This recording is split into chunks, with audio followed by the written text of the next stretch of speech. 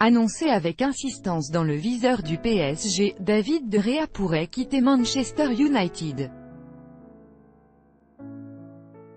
D'ailleurs, pour oublier le gardien espagnol, le club anglais songerait déjà à un profil XXL, comme le révélait El Chiringuito mardi, le PSG envisagerait de recruter un nouveau gardien lors du prochain mercato et serait entré en contact avec David De Gea.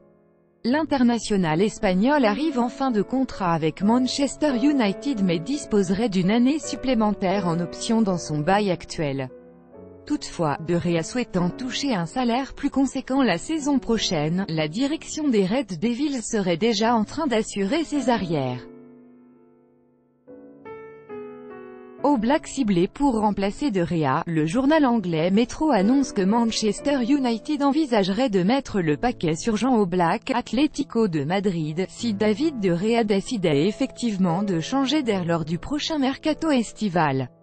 Une bonne nouvelle pour le PSG, qui ne devrait donc pas se heurter à une grosse opposition de Manchester United s'il venait à formuler une offre pour De Réa.